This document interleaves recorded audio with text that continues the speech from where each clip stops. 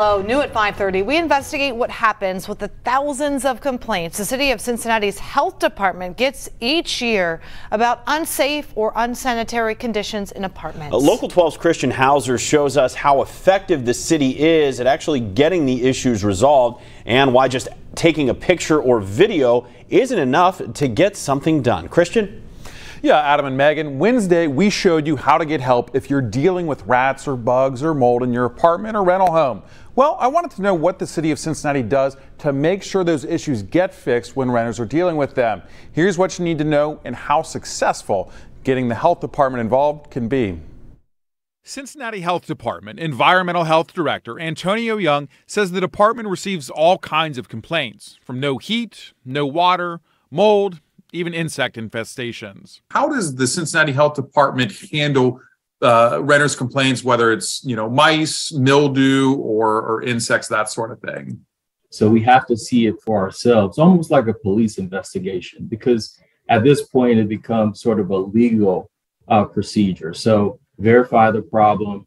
We issue a written order, which is written documentation or a written document to the owner stipulating you need to cure this problem or there'll be enforcement uh, constituted against you. Young says the department then follows up to make sure the issue is taken care of. He says the department received about 3,000 complaints last year. Of those, Young says roughly 95% are resolved just by the department telling a landlord to fix the issue. The others, say 3%, uh, 3 to 4%, are a little bit slower to comply, but they obviously do end up complying. It's only about one to two percent, which we have to do some type of escalated enforcement on. What type of enforcement actions can you all take? If the landlord or owner is totally unresponsive, we could issue a civil citation. Um, that civil citation right now is a fine of about $350, but we could issue it every day um, that a problem exists. Um, and it's pretty effective because obviously the landlord would want to apply that toward actually curing the problem rather paying the health department.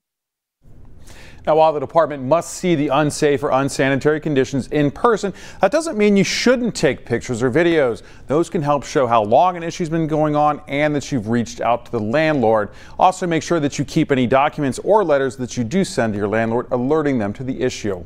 Adam, back to you. Christian, thank you. We have all the information in Christian's story on our website, local12.com, but you can also get there faster using our app.